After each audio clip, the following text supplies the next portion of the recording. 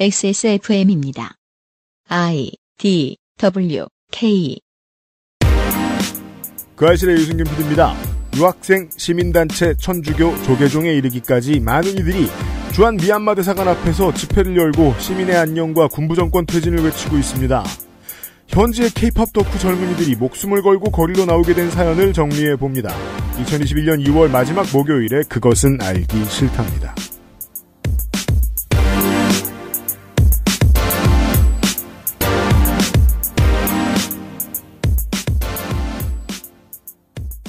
청취자 여러분 한 주 어떻게 지내셨습니까? 윤세민 에디터 어떻게 지내셨나요? 저는 그냥 재밌게 윤세민 에디터입니다. 안녕하십니까 윤세민입니다. 어 봄이 오는 기분이 들어서요. 한국은 그러합니다. 날이 빨리 풀리고 있고요. 네 이게 또 코로나 때문에 정신이 없고 뭐 계절 바뀌는 것도 별로 상관이 없다고 생각을 하면서도 미세먼지 와글와글. 네 그래도 또 이제 봄이 오는가 싶으니까 또 그런 설렘이 있더라고요. 미얀마의 시민들은 2015년에 그리고 작년에 봄이 오는 줄 알았을 수도 있습니다.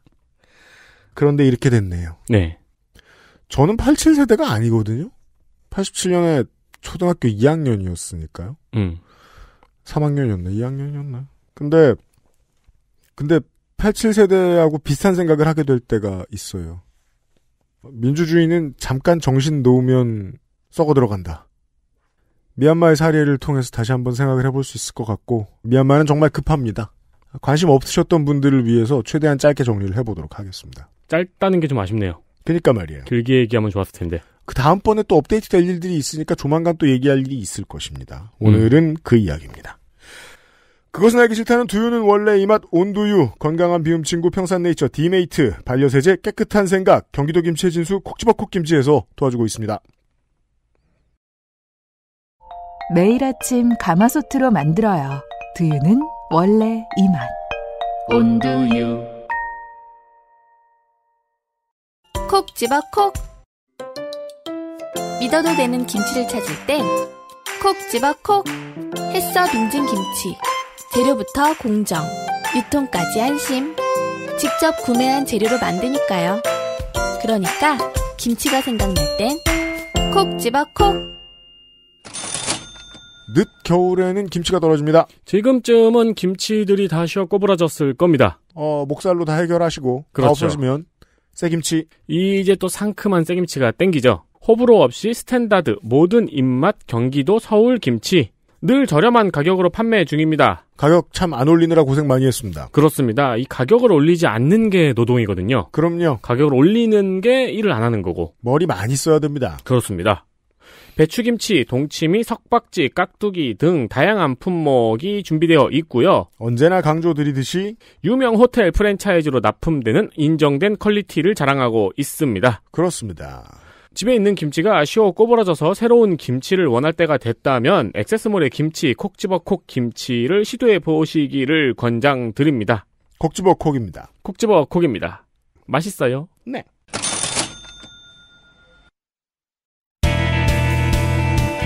뉴스 roundup History in the making. 뉴스 roundup 짧게 정리하겠습니다. 린지 그레이엄 상원의원이 폭스뉴스와의 인터뷰에서 도널드 트럼프 전 대통령이 당분간 공화당을 이끌 것이라고 말했습니다. 네. 또한 공화당이 분열 없이 트럼프 전 대통령을 잘 따른다면 2022년 중간 선거를 승리할 수 있다고 말했습니다. 심지어 미국 내에서도 말이에요. 정치에 별 관심 없으신 분들은 트럼프의 시대가 끝났다고 생각하시는 분들이 있습니다. 왜냐면은 무관심층이 엄청 많이 나서 투표했단 말이에요. 네. 트럼프를 끌어내리려고 정말 오랜만에 투표장에 나왔거든요. 트럼프 끌어내렸잖아요. 네. 끝났구나. 라고 생각하시는 분들이 많아요. 그렇죠.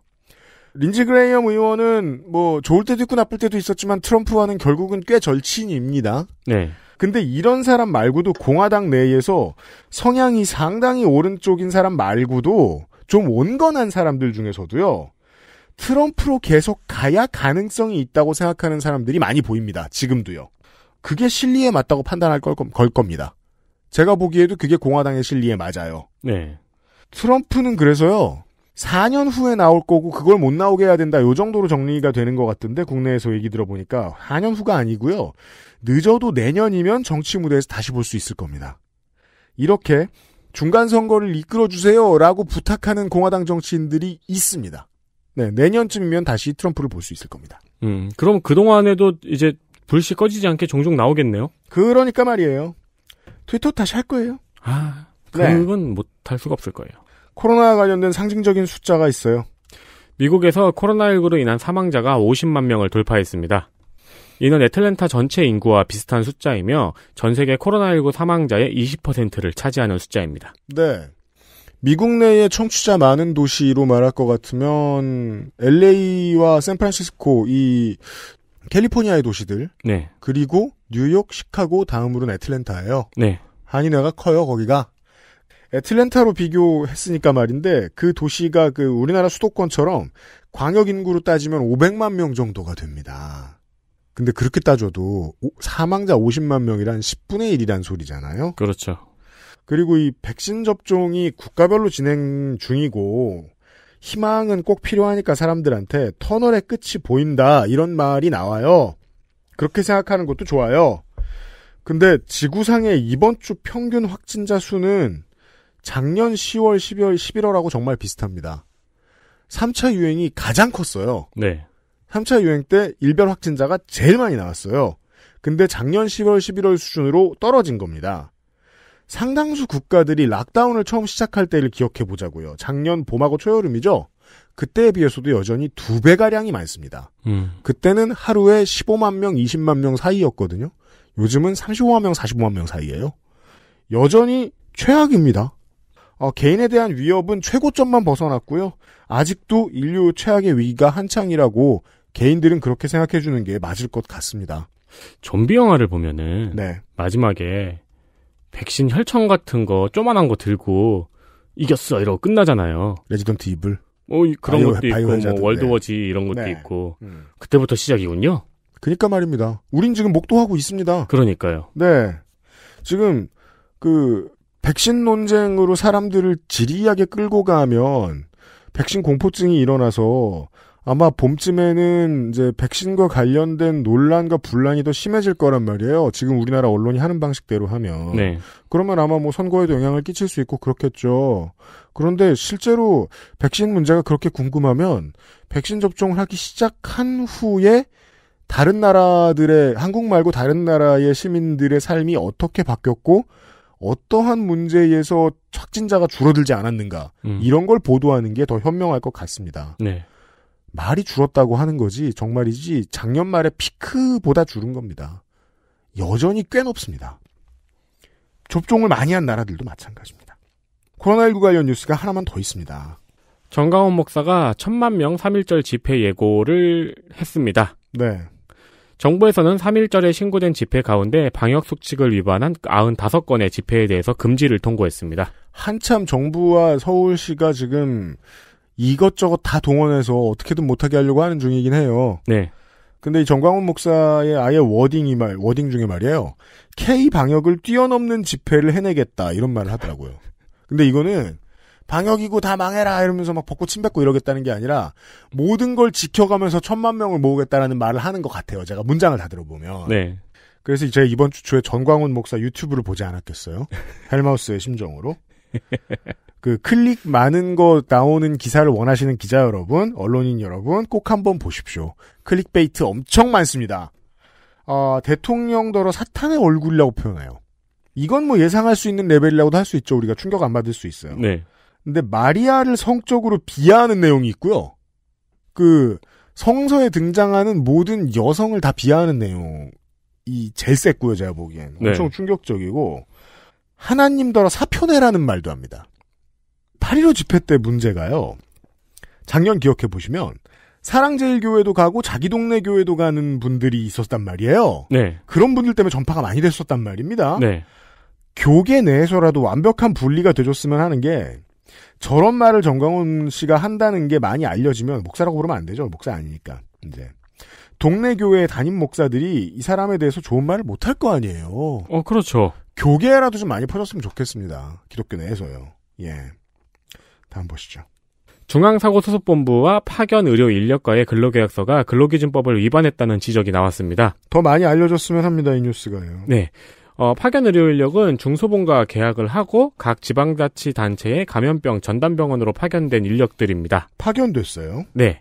중소본이 각 지방자치단체에 배포한 표준 근로계약서에는 인건비는 규정이 되어 있지만 지급 시기는 규정이 되어 있지 않았고요. 이게 말도 안 되죠. 네. 네. 또 유급 휴일에 대해서도 누락이 되어 있었습니다. 이게 궁금하신 여러분들은 자기 계약서 한번 보십시오. 써 있어야 됩니다. 네. 그리고 1.5배를 줘야 되는 연장 근로 수당의 경우에도 정액으로 추가 지급을 한다고 명시되어 있었습니다. 쓸 걸 별로 안 썼다는 거죠. 네. 급했다는 점에서 이해해 줘야 할까요? 그러기는 아무리 급해도 관이 이러면 뭐 어떡해요. 급했다는 걸로 이해해 주는 시점은 작년 4월 정도죠. 겉보기에 아름다운 정리는 애초에 제대로 하는 거지만 애초에 제대로 하지 않은 것 같단 말이에요. 접근은 이렇게 하는 게 옳다고 생각합니다. 계약서 들여다보고 계약서 내용을 일한 노동자들이 보호받을 수 있게 바꿔주는 거죠. 네. 계약 내용을 어기면 소송을 빠르게 할 수 있게 계약서를 제대로 쓰는 걸로 바꾸는 게 맞다고 봅니다. 파견 의료 인력 처우 문제에 대해서는 저희가 지금 좀 더 공부를 해보고 다른 전해드릴 만한 것들을 좀 찾아보도록 하겠습니다. 이분들은 무조건 보호받아야 됩니다. 네. 이런 거를 또 찾아서 보도하는 게 또 언론의 역할이죠. 네. 저희가 지금 쉬지 않고 쳐다보던 문제가 있습니다. 다음 보시죠. 지지난주와 지난주에도 택배 노동자들과 택배사와의 합의 내용을 전달을 드렸었죠. 근데 뭐가 똑바로 안 되나 봐요. 어, 그리고 7월에는 택배 노동자를 보호하는 생활물류 안전법이 시행될 예정입니다. 5개월 남았습니다. 그렇습니다. 근데 이 법의 시행을 앞두고 한진택배 노조에서 한진택배가 대리점을 분할하는 방법으로 택배 노동자들을 해고하고 있다고 주장했습니다. 이게 무슨 의미냐? 노조의 설명에 의하면은 대리점의 규모가 택배기사가 4명에서 5명 정도가 되면은 이 대리점 소장의 월급이 100에서 120만 원 밖에 안 되는데요. 그럼 할 이유가 없잖아요. 그러니까 사실상 이 4명에서 5명 정도 되는 대리점은 운영할 수가 없는 거죠. 음. 그런데 이 9명 규모의 경북 김천 대리점을 분할해서 위장 폐업을 하는 방식으로 택배 노동자를 해고하고 있다는 설명입니다.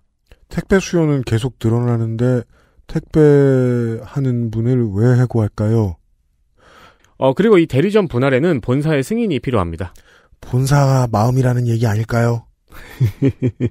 자, 뭐 3주 동안 들으셨잖아요, 청취자 여러분. 이해 되실 것 같아요. 제가 무슨 말씀을 드리고 싶은지. 어떤 양아치들이 쉬지 않고 머리를 쓰고 있죠? 네. 꼭 이 사건을 말하는 건 아닙니다. 왜냐하면 세상에 어떤 양아치들은 머리를 계속 쓰고 있거든요. 어, 그렇죠. 네, 썸. 경제지에서 막 택배사 택배 못 해 먹겠다 볼멘 소리 이런 기사가 그 막 하루에 열 번은 나올 때까지 가혹하게 밀어붙여야 될 것 같습니다. 안 그러면 이럴 것 같습니다. 계속 다른 방법을 쓸 것 같습니다. 이게 지금 저희가 연속해서 전해드리고 있는 내용이 연속된 내용이 아니고 다 새로운 내용들이었죠. 그죠? 네, 산재근로 그 계약 포기 네. 받은 것도 이제 국정감사에서 문제를 지적해서 지금 계속 해결이 되고 있는 중이고요. 음. 그리고 대체 인력 투입도 계속 꼼수를 부리다가 대리점에 떠넘기고. 네, 그러다가 또 한번 난리가 나니까 이것도 빠 재빠르게 시정을 하고 네. 그러니까 이제 또 다른 이런 제대로 해고를 하지 못하니까 대리점을 운영할 수 없는 규모로 분할하는 방식으로 해고를 하는 우리가 시장주의자 입장이 돼보자고요. 이따위로 아- 안 하면은 수익이 우리 회사 마음에 안 들 것 같아. 그럼 이 사업 접어야죠. 접으라 그래요. 그럼 다른 업체가 나타나겠죠. 그렇죠. 법을 잘 지킬. 네. 시장한테만 맡겨도 될 문제인데, 근데 그 시장은 법이 제대로 서 있어야 되는 거예요. 그 기업의 입장에서 볼까요? 큰 기업이 어떤 사회적 타협에 임한다고 하죠? 그러면 본능적으로 뒤에서 잘, 다, 그, 뒤에서 다른 전략을 짜는 사내의 충신들이 있어요. 네. 그래야 성공 가도를 달리죠, 큰 회사에서. 그리고 이참에 큰 손님 한번 맞아보자 하면서 노동 탄압 안 필요하신가요? 똑똑 똑똑 누구세요? 노동 탄압 안 필요하신가요? 하고 명함 돌리는 노무법인들도 있습니다. 창조의 후예들. 저희가 이런 거 할 수 있는데요. 라면서 꾸준히 지켜봐야 시민들이 꾸준히 지켜보셔야 사람들이 안 죽습니다. 다음 보시죠. 23일 환경부가 국내 생수업체 10곳과 상표 띠 없는 투명 생수병 사용 업무 협약식을 가졌습니다. 네.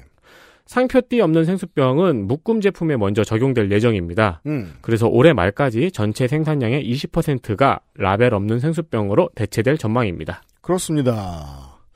법을 만들기 이전에 일단 기업하고 말이 잘 되면 그쪽을 더 선호하죠. 네. 정부는 보통. 네. 그게 이제 고위공무원, 고위공직자들의 취향이거든요, 그게.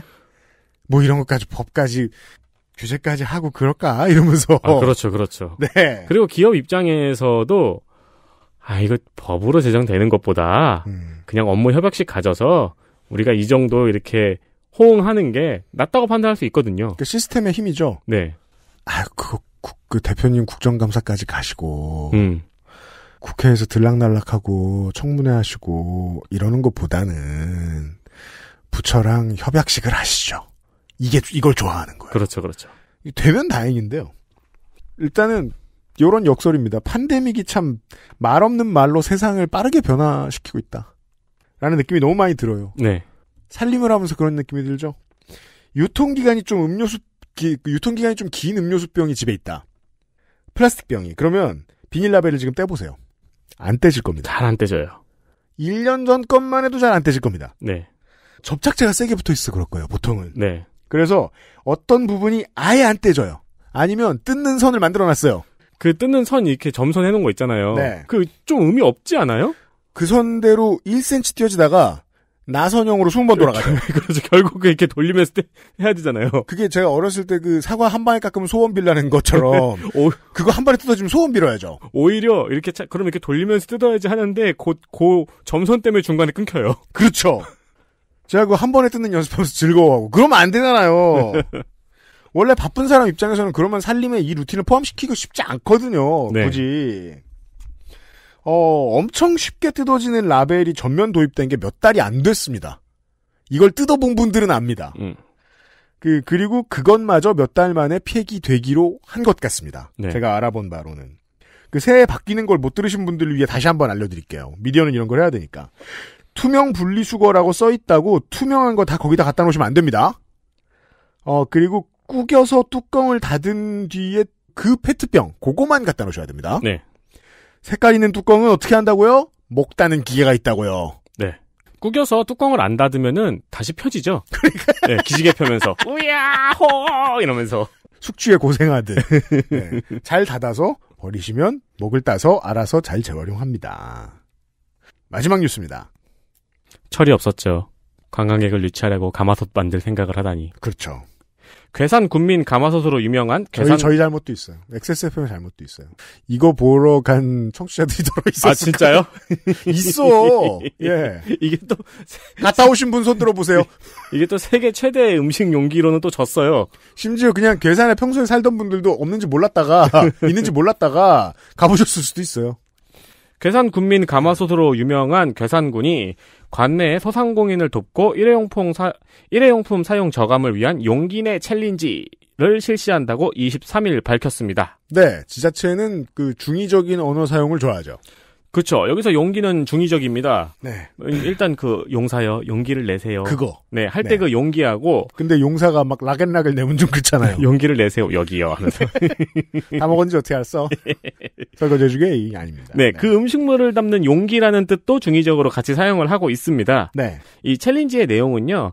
관내에서 식당에 이제 본인 냄비를 들고 가서 음식을 포장해 와요. 음. 그러니까 그 공짜로 주세요 하는 게 아니고 네. 네, 사서 음식을 포장해 가면서 이거를 SNS에 인증하고 다음 참가자 두 명을 지목하는 방식입니다.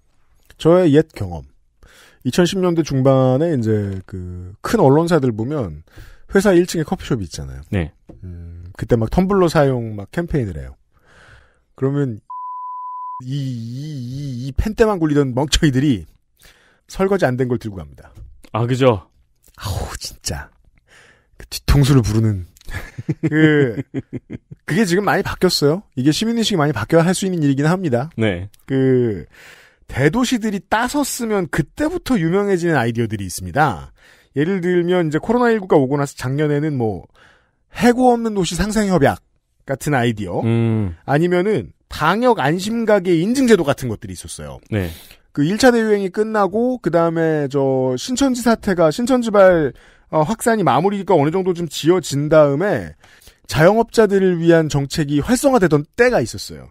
그때 잠깐 그런 게 나온 적이 있죠. 공무원들이 돌아다니면서 방역 인증 가게 안심 스티커를 붙여주는. 음. 그럼 거기 가서 밥 먹어라. 네. 라고 했던. 그런 것들도 큰 도시로 가면 그때서야 좀 유명해지고 그전에는 모르는 것들이 좀 있더라고요. 그래서 소개해 드리려고요, 먼저.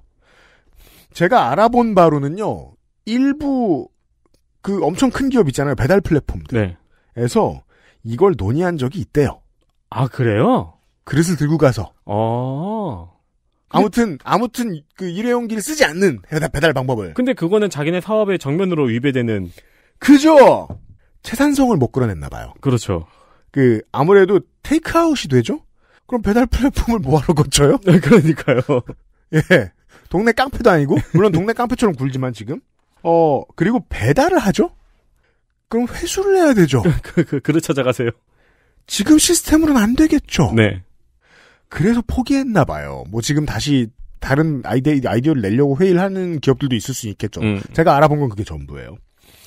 대도시에서는요, 그, 요런 걸 보신 적이 있으실까요? 식당 말고요, cosmetic이 이런 담아가는 테이크아웃 판매 사업을 하죠. 아, 그렇구나. 샴푸, 바디로션, 토너 이런 것 네, 네. 빈, 그, 다 쓴 화장품 병 같은 거 들고 와서요. 하는 것들이 있죠. 네. 향후에 이게 산업적으로 어떻게 발전할지 궁금합니다. 이건 잠깐 있는 일회성 아이디어가 아닙니다. 음, 네. 어, 빠르게 퍼질 겁니다. 미래를 예측하면서. 뉴스 roundup이었습니다. 그, 다 쓴 컴퓨터 케이스 들고 가면 안에 부품으로 담아주고 그러기도 할까요? 돈 내면. 아, 그렇겠죠? 그건 뭐 컴스테이션에 가서 무시하십시오. 네. 문의하십시오. 네. 케이스 내 challenge. 괄호 열고 돈도. 네. XSFM입니다. 건강기능식품 광고입니다. 탄수화물이 지방으로 합성되는 것을 억제하는 가르시니아 캄보지아 추출물 HCA. 풍부한 양의 HCA가 함유된 당신의 새로운 비움 친구 디메이트를 만나보세요. 이번만큼은 제대로 마음먹은 당신. 운동과 수분 섭취를 잊지 않으셨다면 건강한 비움 친구 디메이트가 도움을 드릴 수 있습니다. 식사 조절, 운동, 수분 섭취, 그리고 비움 친구 디메이트. 평산네이처.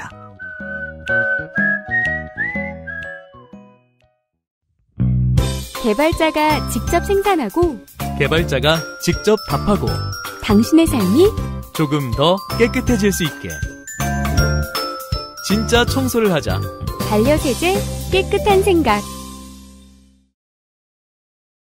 좀 전에 알려드린 대로 어, 뭐, 그 아시의 청취자 여러분들 저하고 호흡이 비슷해서 한 시간 가지고 뭘 할 수 있을까 싶겠지만은, 어, 짧은 시간이나마 미얀마의 상황에 대해서 조금 더 이해를 좀 해보겠습니다. 국제민주연대 나연필 사무국장 오랜만에 다시 만났습니다. 어서 오십시오. 네, 안녕하세요. 네. 다음번에 국장님을, 사무국장님을 뵐 일이 있으면, 러블리즈 안부부터 물어보게 될 줄 알았는데, 바쁩니다, 지금. 네, 지난번에 그 방송 이후로 이제 주변에서는 너의 직업이 뭐냐, 뭐라는 질문도 가끔 받았는데, 놀리고. 네, 예, 맞습니다. 근데 예. 이제 약간 본업적인 이야기를 할 수 있게 돼서, 그러니까요. 네, 다행으로 생각하고 있습니다만, 네, 청취자 여러분, 네. 이분 직업 있고요. 네. 이래봬도 직업이 있다. 직업이, 그리고 또 알잖아요. 직업이 있어야 덕질을 해요. 그렇죠. 예, 네. 놀면서 힘들어요. 예. 이 얘기를 좀 해보겠습니다. 이게, 이제 뭐, 외신에 전해주면서, 어, 헌정사상 네 번째 쿠데타다. 이렇게 얘기하면, 한국인들이 놀라는 한국인들이 제 주변에 있습니다. 아, 역시 인간은 겁나 빨리 망각하는구나. 이런 느낌을 받을 수밖에 없습니다. 대한민국에서도 두 번 있었습니다. 그렇죠. 시도까지 따지면 몇 번 더 있었을 거예요. 최근에도 시도는 있었으니까요. 밝혀진 바에 따르면요. 네. 네. 저희들 녹음하는 기준으로 미얀마 군부가 쿠데타를 일으킨 지 24일이 됐습니다. 전 세계 시민들이 좀 알고 있죠. 아, 이 얘기를 최대한 자세히 압축적으로 해보겠습니다. 한 시간 동안.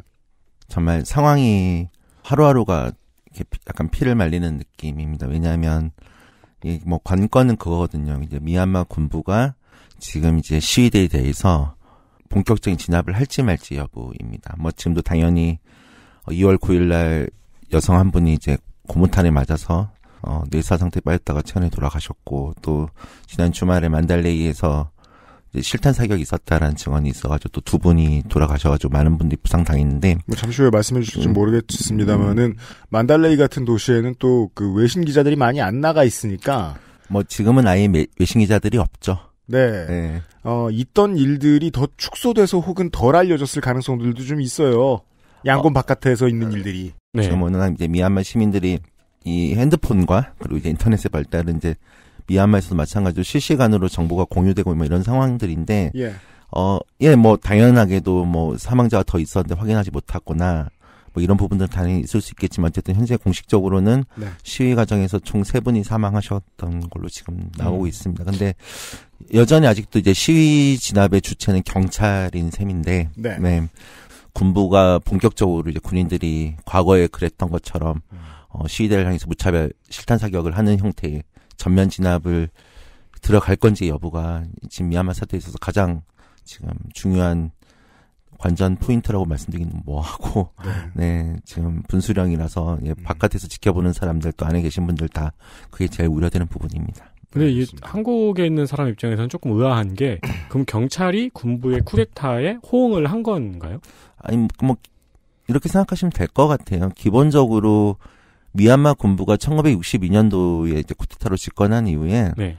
2015년 선거에서 NLD한테 정권을 넘겨줄 때까지 뭐 거의 50년? 네, 뭐 짧게 음. 생각하면 50년 가까이 집권을 했습니다. 그러니까 미얀마 내에서는 군사 부분만이 아니라 네. 정치, 경제, 관료, 행정 뭐 전 분야에 있어서 군부의 영향력이란 건 사실 절대적인 거거든요. 누구도 도전할 수 없는 그렇죠. 군부라는 집단 자체가 음. 그냥 미얀마란 국가 자체의 그 인력적인 부분에서는 네. 바탕 아니면 이제 권력이다 보기 때문에 네, 의회 근간을 차지하고 있죠. 뭐 예. 의, 네. 의회건 군부건 예. 경찰이건 예. 그놈이지 그놈이군요. 예, 뭐 그, 그들이 해왔던 그런 네트워크나 뭐 행, 집권 능력, 행정 능력은 어 뭐 NLD가 사실 그 뭐 5년 동안 뭐 집권해가지고 그거를 뭐 완전 장악한다는 것 자체가 사실 말이 안 되는 상황입니다. 그럼 조금 미리 말- 예측을 한번 음. 해보자면은 아랍 사태와 마찬가지로 사법부도 비슷한 형편이겠네요. 뭐 당연히 그렇습니다. 네, 음. 지금 어, 말씀드린 단어 NLD. 네.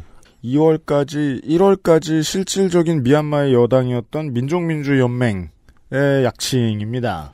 이 당에 대한 얘기부터 해봐야 될 것 같아요. 네, 어 NLD 사실 한국에서는 이렇게 민족민주 동맹, 뭐 국민민주 동맹 뭐 이렇게 여러 가지 그 통일된 번역은 없는데 네, 어 제가 내셔널 리그 포 데모크라시, 네. 그랬습니다. 네. 뭐 근데 NLD란 정당 자체가 사실은 이제 아웅산 수치 국가 고문이라고 네. 하겠습니다. 아웅산 수치 국가 고문과 뗄 수 없는 상황인 겁니다. 왜냐하면 음. 사실 아웅산 수치 국가 고문 그 자체거든요. NLD란 정당이. 네. 음. 네네.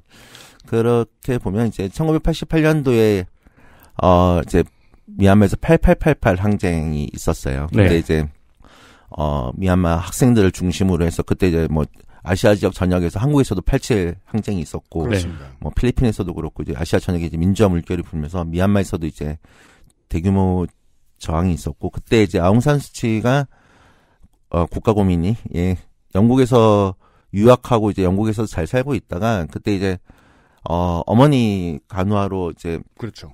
미얀마에 귀국했다 이제 그 상황을 보면서 지금까지 이제 영국으로 다시 돌아가지 않고 음. 이제 그때부터 이제 민주주의 지도자로 이제 부상을 했죠. 그러면서 이제 그때 창당합니다. 네, 맞습니다. 그때 창당을 해서 당을 만들었고 그 1990년도에 총선이 있었습니다. 총선이 있어가지고 NLD가 압승을 해버렸죠. 근데 네. 이제 압승을 하니까 군부에서는 또, 또 이제 쿠데타를 그렇죠. 일으켜가지고 선거 결과를 다 무효로 하고 그때부터 아웅산 수치는 이제 길고 긴 가택연금이 시작이 됩니다. 네.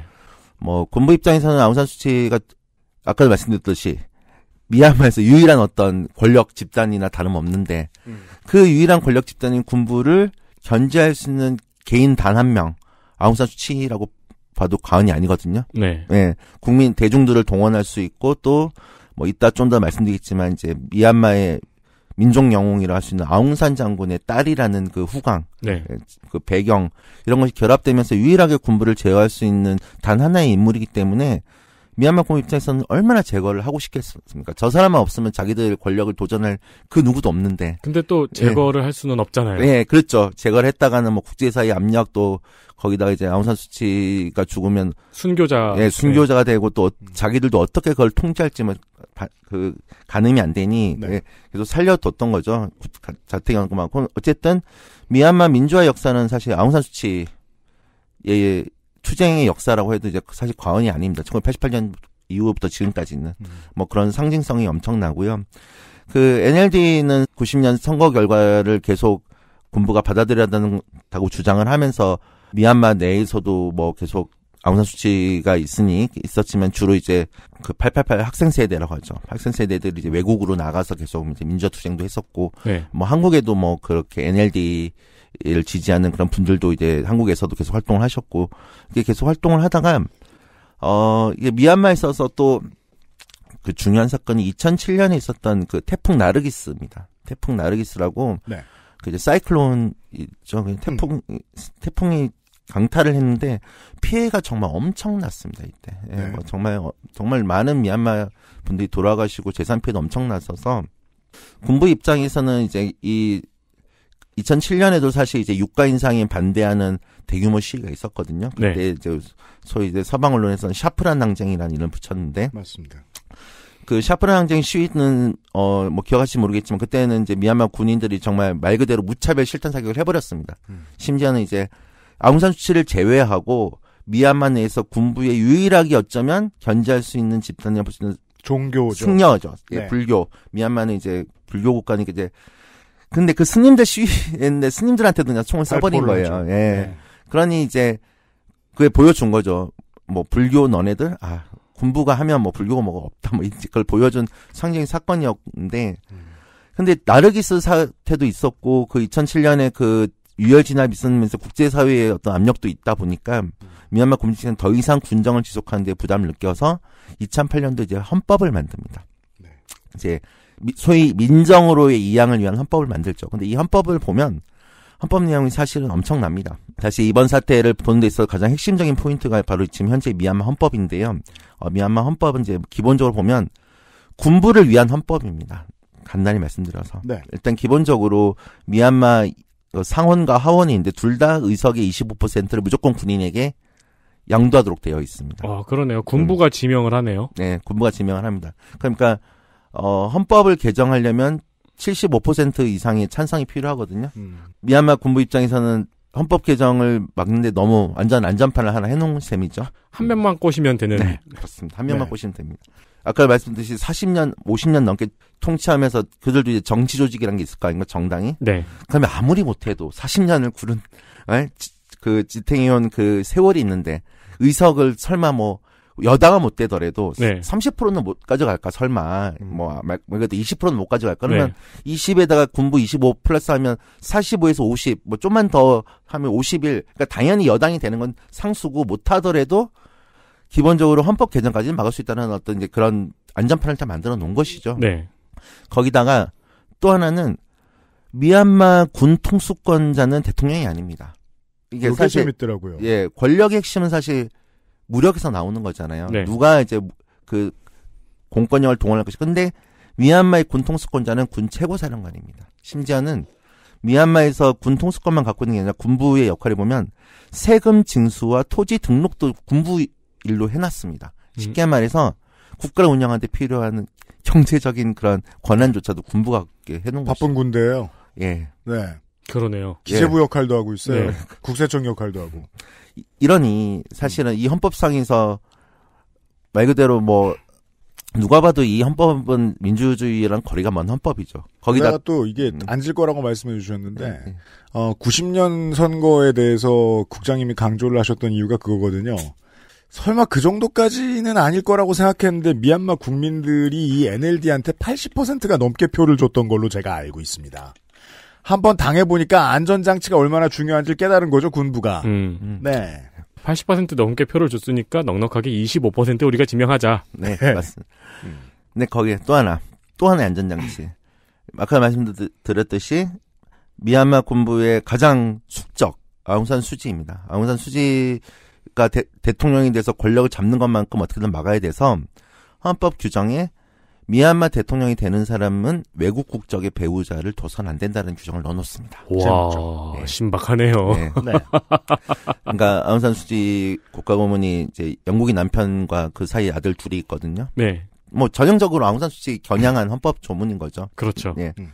이렇게 헌법을 만들어 놔서 이제 자기들끼리 선거해가지고 그때 NLD는 참여하지 않았습니다. 당연히 말도 안 되는 헌법인데 어떻게 우리가 여기 선거 참여하냐. 네. 그래서 이제 선거를 해가지고 군인 출신 여당에서 군인 출신 대통령이 나와가지고 이제 정부를 꾸립니다. 근데 어쨌든 이 그때 이제 테인세인 대통령이라는 사람이 등장을 했는데 근데 나름 이 사람 이제 군인 출신이긴 한데 뭐 아주 막 아주 군인 같은 사람은 아니었습니다. 뭐 그런 완전 정치 군인스럽게 막 국민들을 독재하고 철권 통치하려는 스타일은 아니고 아, 네. 그나마 군인들 중에서 조금 그래도 좀 상식적으로 좀 나은 보이는, 사람, 예. 그나마 나은 사람이어가지고 이 사람이 집권한 이후에 경제 개혁이나 개방 정책들 그리고 어쨌든 제한된 헌법 내에서도 뭐 그런 어떤 민주적인 절차를 지키려고 나름 노력은 합니다. 그러면서 아웅산 수지도 이제 여- 그 같은 경험을 풀어주게 되죠. 네. 풀어주면서 아웅산 수지가 이제 그 국회의원 보궐선거에 나가지고 압도적으로 또 당선이 됩니다. 이제 본격적으로 정치가 시작된 거죠. 음. 그러면서 일- 그러면서 서서히 이제 서방에서 봤을 때도 어 이제 미얀마가 나름 어쨌든 그 어떤 민주화의 이행으로 가는 어떤 그런 길목에 들어선 게 아닌가라는 어떤 또 호의적인 반응들이 점점점 나오기 시작합니다. 네. 미얀마 걱정은 좀던게 아닌가. 네, 약간 이제 그렇게 된 거죠. 그때부터 이제 뭐 외국의 이제 투자들도 좀 늘어나게 되고 그렇죠. 그러다가 2015년 이제 드디어 총선이 있었습니다. 2015년 총선이 있었는데 어 뭐 결과는 아시다시피 NLD가 정말 압승을 해버립니다. 그 네. 안전판이 있음에도 불구하고 그 소위 군부 여당이 정말 힘 한 번 못 쓰고 거의 의석의 70% 가까이를 다 넘겨줍니다. 네. 아, 군부에서 이 말을 치면서 음. 러시아를 받겠네요. 그렇죠. 아, 부정선거. 음. 근데 뭐 그때는 부정선거 주장할 그런 건 건덕지도 없었고 그때는 어 한국에서 한국 시민사에서 저희 단체에서도 저는 안 갔지만 이제 그 공정선거 감시단으로 갔었는데 네. 어, 뭐 거의 이제 약간 아시아 전역이 약간 축제였어요. 그때 음. 이제 미얀마에서 드디어 음. 공정한 선거가 이루어지고 정권 교체가 되고 어, 정권 교체가 되고 드디어 아웅산 수치가 드디어 이제 이제 귀환인 거죠. 또 민주주의의 상징의 귀환이고 어쨌든 그 선거 결과가 나오면서 그때 환호가 전 지금도 막 생생합니다. 음. 전반적으로 이제 동남아 지역에서의 민주주의가 후퇴되는 과정에서 미얀마가 어떤 새로운 어떤 민주주의 희망 정말 이런 분위기까지 이제 됐었던 거죠. 네. 네. 그런데 이제 문제는 아까 말씀드렸듯이 대통령 문제입니다. 음. 대통령이 될 수는 없는 거예요. 헌법이 그런 상황에서. 네. 그리고 정권을 잡았다고 해서 바로 헌법 개정을 또 할 수도 있는 것도 아니고 거듭 강조드리지만 미얀마 군부가 아무리 선거에서 졌다고 하지만 그 사회 전역에 대해서 통제력을 갖고 있는 상황에서 우리 선거 이겼으니까 너네 당장 권력 다 내놔. 그건 말이 안 되는 거죠. 세금도 거둘 수 있고. 예. NLD가 뭐 그렇게 할 수 있는 무력이나 그런 것도 없는 거고. 네. 그래서 대통령 문제 어떻게 할까 고민을 하다가 소위 이제 미얀마 내에 이제 이런 걸 만든 국가 자문회의라는 그 뭐 회의를 만들고 음. 아웅산 수지가 거기 회의에 이제 자문 역, 음. 어, 그러니까 State Counsellor라는 역할을 만듭니다. 네. 사실 그리고 나서 외무장관도 겸하는 역할을 해놓은 건데, 근데 뭐 사실상 실질적인 이제 아웅산 수지가 대통령 역할을 다 하는 거죠. 말이 외무장관 겸 뭐 자문역인데 대통령은 이제 그 어, 본인이 친한 이제 연세 지긋하신 이제 해놓고 네. 그러니까 누가 봐도 이제 미얀마의 실권자는 대통령이 아닌 거죠. 아웅산 수치가 이제 뭐 미얀마의 실권을 가진 사람인데 단지 이제 이름만 프레지던트가 아닌 음, 네, 음. 그렇게 그래서 항상 아웅산 수치를 얘기할 때 이제 뭐 국가 자문 겸뭐 외무장관이 아닌 좀 긴 명칭을 불리긴 했지만 어쨌든 아웅산 수치가 권력의 전면에 나섭니다. 근데 이제 권력에 나서서 이제 잘 하셨으면 네, 잘 하셨으면 좋았을 텐데 문제는 어쨌든 제가 아까도 말씀드렸듯이 이제 아웅산 수치 전임 대통령 시절서부터 어쨌든 어 미얀마의 예 제가 봤을 때는 일정 정도 NLD와 군부 사이 어떤 계속 마쿠에서 어떤 조율들이 있었던 것 같아요. 안 하고 안할 수 있습니까? 안 할 수 있는 상황은 아니죠, 네. 당연히. 예. 음. 뭐 그러면서 어 어느 정도 이제 권력 분점이나 뭐 이런 얘기들이 있었지만 이제 그 내관들이 몇 개 있습니다. 풀지 못한 일단 기본적으로 헌법이죠. 음, 헌법 문제인데 저항의 상징이 음, 되는 것, 음, 네. 저항하는 것, 화가 난 국민들을 이끄는 것과 새로운 시스템을 안착시키는 능력은 영 다른 겁니다. 아, 맞습니다. 정말 정말 그 말씀이 맞는 게 이참 그러니까 네. 비겁한데요. 한국에 살고 있는 시민으로서 음. 한국은 운이 좋아요. 다른 나라에서 보면 놀라울 정도로 깔끔했다고 치지만 내부적으로 보면 또 그렇게 한 번에 깔끔하게 뒤집힌 것도 아니었고요. 지금부터 한 100년이 지나야 정치 지도라, 지도자로서 김영삼의 가치가 다시 한번 평가가 될 겁니다. 제가 이번에 좀 많이 그런 생각을 깊이 좀 했었어요. 여튼간에 아웅산 수치에게 새로운 능력치가 요구됐어요. 2015년 이후에. 네. 맞습니다. 새로운 능력치가 요구됐는데 네, 세 가지 가지였어요. 헌법 그리고 소수민족 문제. 음. 미얀마는 사실 이제 큰 덩어리로 보면 여덟 개그 민족이 연합된 국가인데 이 소수민족 문제는 계속 미얀마 독립 때부터 사실 계속 이제 미얀마의 가장 큰 문제였습니다. 네. 이제 영국이 한 나라로 식민지 통치하면서 만들어 놓고는 이제 영국으로 독립할 때 그때 이제 아웅산 장군 제가 아까 말씀드렸듯이 그 영국과 그리고 일본에 맞서서 미얀마를 독립시킨 그 아웅산 장군이 이제 약속을 해요. 소수민족들에게 광범위한 자치권을 부여하겠다. 음. 음.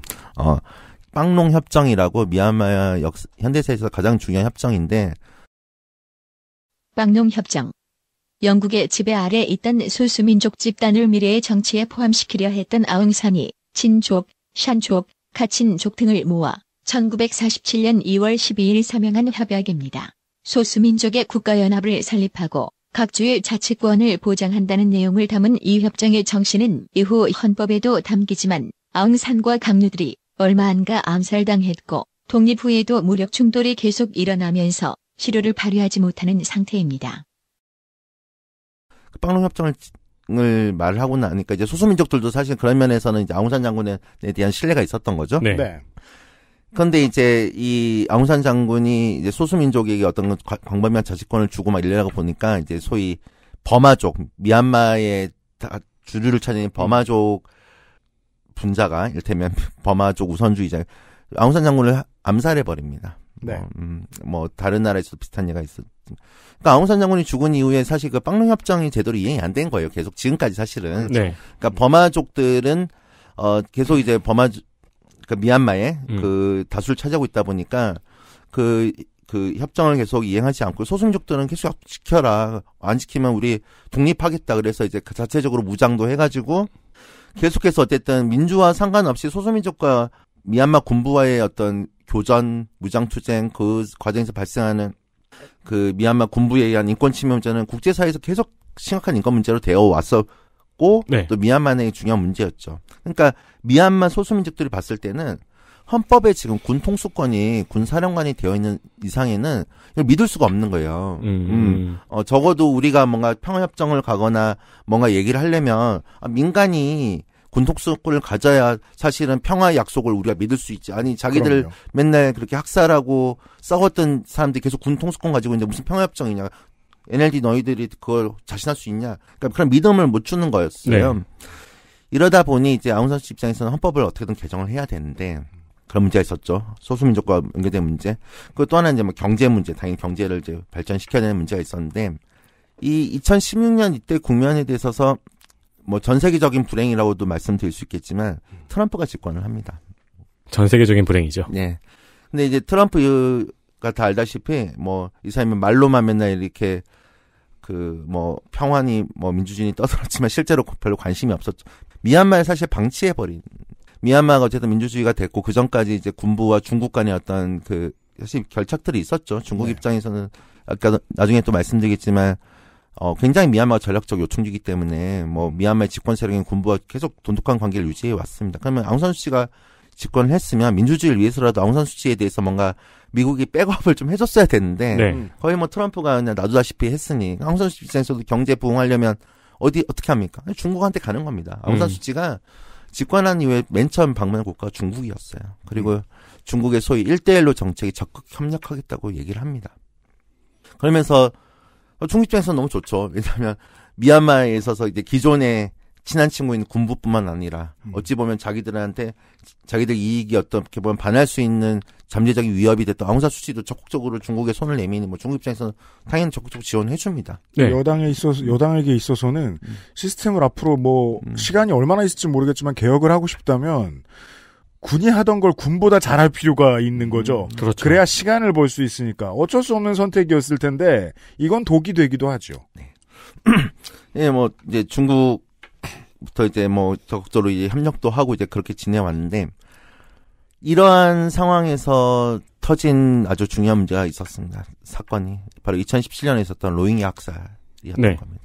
이 로힝야 학살은 뭐 길게 말씀 안 드리겠습니다만 이제 지금 현재 국제사법재판소, 형사재판소에 다 올라가 있는 굉장히 심각한 반인도적 범죄였습니다. 미얀마 군인들이 로힝야 사람들에 대해서 뭐 학살, 강간, 뭐 부터 시작해가지고 엄청난 범죄를 많이 저, 그러니까 특정 집단을 겨냥해서 어 국가가 저지른 증오 전쟁 범죄 멋있게 제노사이드라고 불리는 네. 이 범- 2010년대의 가장 네 강력한 제노사이드 범죄 사건, 맞습니다. 네 인종 범죄 사건입니다. 2017년에 있었던 이 사건인데 이 사건이 딱 터지고 나서 물론 이제 미얀마 군부가 나서서 했지만 국제사회의 기대는 그거였습니다. 노벨 평화상 수상자 민주주의 상징 아웅산 수치가 적어도 예, 적어도 아무리 미얀마에 정치 아는 사람들이 지금 미얀마의 군 통수권이 군인이 갖고 있고 군대가 너무 못된 짓을 많이 했지만 적어도 이런 상황까지 벌어졌을 때 아웅산 수치가 최소한 유감 표명 정도는 하겠지. 기본으로. 아니 네. 처음에는 기본으로 유감 표명 정도는 하겠지. 그리고 어떻게 이 문제에 대해서 수습을 좀 하겠지. 이런 기대는 너무나 당연히 가졌었습니다. 그런데 놀랍게도 아웅산 수치는 침묵합니다 그 문제에 대한 능력치는 상당히 떨어질 거라는 예상은 예전부터 하는 전문가들이 있었는데 음. 어, 전문가들의 예측대로였달까요?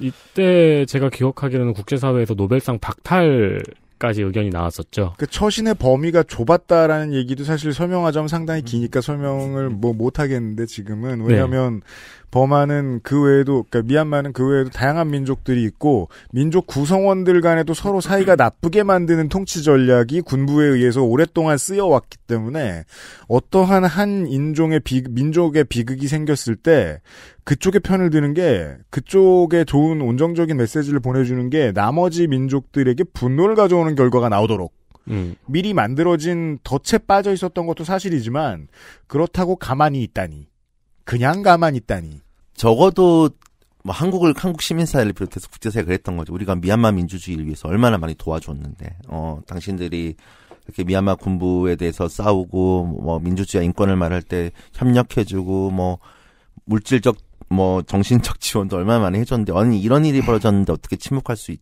있냐 뭐 이런 사실 배신감이 굉장히 컸었던 거죠. 네. 그래서 뭐 실제로 한국에서도 이제 광주 인권상 이제 5.18 재단에서 수행한 광주 인권상도 박탈을. 네, 박탈이 됐었고 네. 어, 뭐, 이건 여담입니다만, 저 역시도 한국에서 이렇게, 한국에 계신 이제 그 미, 제한 미얀마 민주 활동가들이랑 2000, 이 로힝야 전에는 굉장히 사이가 좋았어요. 같이 캠페인도 음. 많이 하고, 미얀마 민주주의에서 자주 만나서 음. 막 술도 마시고 되게 사이가 좋았는데, 이 로힝야 일이 터지고 나서 얘기를 해보면서 너무 충격을 받은 거예요. 이, 그, 제한 미얀마 민주 활동가들이 로힝야 사람들은 미얀마의 불법 체류자들이라는 표현을 쓰는 거예요. 근데 사실 음. 한국에 와 계신 미얀마 분들이 이제 대부분 이주노동자로 살아가고 있잖아요. 그리고 음. 이제 한국에서 흔히들 이제 이- 이주노동자들이나 난민들에 대해서 공격하는 말들이 불법 체류자라는 단어들인데 네. 본인들이 한국에서 겪었고 또 심지어는 이제 거기에 대해서 어 반대하는 운동도 했었던 분들이 또 다른 사람들에 대해서 불법 체류자라는 단어를 쓰면서 저희 한국 시민사회에서는 굉장히 좀 충격을 받았었죠. 음, 네. 음, 같은 맥락으로. 어쨌든 정치의 본질을 배우게 되죠. 네. 그런 그 그런 차가운 경험을 할 때마다. 네. 음, 근데 뭐 거울을 일이 보면 있었군요. 우리나라에도 없는 그러니까요. 일은 아니고요. 이해가 되네요. 네. 그 이제 NLD가 서고 그것으로 군부를 축출해내기를 그게 10년이 걸리든 20년이 걸리든 그걸 원했던 8888 세대들에게서 로힝야 학살은 그냥 덮고 싶은 지저분한 일에 지나지 않을 수 있었던 거예요. 그러니까요. 국장님이 본 이상한 장면은 거기서 도래했군요. 네. 아. 어쨌든 그러면서 이제 서방에서 심지어는 이제 아웅산 수치가 그것 때문에 국제 그 형사재판소 법정에도 섰죠. 네. 근데 처음에는 침묵을 하더니 나중에는 어 약간 이제 옹호 군부가 뭐 그럴 수 있었다 뭐 그냥 뭐 그러니까, 범죄 어, 예, 서탕 범죄, 과정에서 예, 있을 수 있는 일이다라는 식으로 심지어 이제 옹호하는 발언 네 발언을 했죠. 이러다 보니 이제 국제 사회에서 뭔가 이제 미얀마에 대한 그러니까 미얀마 민주주의라는 거에 대한 어떤 실망 혹은 이제 기대치가 좀 많이 낮아져 버리는 그런 상황들이 있었죠. 그리고 네. 그러니까 이게 어찌 됐건 뭐 아웅산 수치 자체는 뭐 뭐 그렇 실망은 둘째치더라도 그러니까 미얀마 군부가 그 전에도 사실은 아까 말씀드린 소수민족에 대한 어떤 인권 침해 그리고 국내의 어떤 계속 쿠데타와 이제 민주 인사에 대한 탄압들이었지만 미얀마 군부가 이제 제노사이드를 벌이면서 이거는 정말 이제 국제적으로 굉장히 이제 잔인무도한 집단으로 완전히 이제 자리매김을 한 상황이었어요. 네. 네. 그러면서 이제 또 시간은 흘러 이제 올해 작년 11월 총선이 왔습니다. 음. 네, 작년 11월 총선이 왔을 때 사실 총선을 앞두고 전에서 이제 그 로힝야 문제의 여파가 있었어요. 이 로힝야 그 학살이 일어난 곳이 아라칸이라는 곳인데 네. 방글라데시와 맞붙은 이 지역에서 사실 선거가 일어나지 못했습니다. 이제 뭐 이유는 그거였죠. 이제 그 학살 작전에 대한 여파도 있었지만 미얀마 그러니까 적어도 5년이 지난 민주 정부가 일테면 선거권을 쉽게 말해서 소수민족들이나 무슬림들이나 그런 소수자들에게 주지 않는 방식으로 좀 불공정한 선거가 이루어졌던 겁니다. 음. 음, 뭐 무슬림들이나 아니면 다른 소수민족들 지역 핑계는 코로나였지만 이, 사- 이 나라는 사실상 시민의 권리의 등급이 있죠. 민족에 따라. 뭐 사실상 말씀드린 이제 로힝야 사람들은 그 시민권에서 완전 배제되어 있고요. 원래는 당연히 음, 불완전한 민주주의죠. 예. 네. 뭐 이런 상황이다 보니 사실은 그때 저도 어, 한국에서도 이제 그 선거가 공정하게 이루어져야 된다는 성명을 예, 저희가 여- 그 연명도 하기도 했었는데 어쨌든 뭐 그럼에도 불구하고 그건 확실합니다. 선거가 벌어- 있었는데 2015년보다 더 득표를 많이 했어요 NLD가. 음, 네. 더 득표를 많이 했습니다. 미얀마 특히 이제 버마족을 포함한 미얀마 국민들에게는 군부가 대안이 더 이상 되는 건 아니죠. 뭐 아웅산 수치에 대해서 뭐 국내적 비- 국외적 비판이 어떻더라도 NLD 정부가 계속 집권해야 된다라는 민의가 재확인된 것만은 반드시 분명합니다. 뭐 네. 그거는 이런 여지가 없습니다. 그러니까 우리는 뭐 이 얘기는 이렇게 정리할 수도 있을 것 네. 같아요. 우리는 다른 선택을 한 다른 평행 우주를 가볼 수 없으니까. 아, 아웅산 수치와 NLD가 용기를 내서 어, 그동안의 국민들 사이의 분위기도 다 눈치 안 보고 어, 어떤 민족, 어떤 종교든 간에 국민이 죽지 않느냐라고 말했을 때 미얀마 내 여론이 어떻게 변화했을지 알 수는 없어요. 다만 전문가들은 이렇게 지적하죠. 그랬어도 망하고 지금 상황대로 나오면 군부의 목덜미를 잡히는 어차피 군부의 꽃놀이패가 통한 것이 미얀마 그 저 뭐냐 로힝야 학살이다. 음. 라고 평가를 하거든요. 그럼에도 불구하고 그러니까 거기까지 인정을 하고 봐도 멀리서 봤을 때는 NLD가 지난번 총선에서 몇 달 전이죠. 득표를 이렇게 많이 한 건 결국 어 로힝야족의 사람들의 피가 보전해준 표라는 평가로서는 라는 평가에서는 절대로 자유로울 수 없습니다.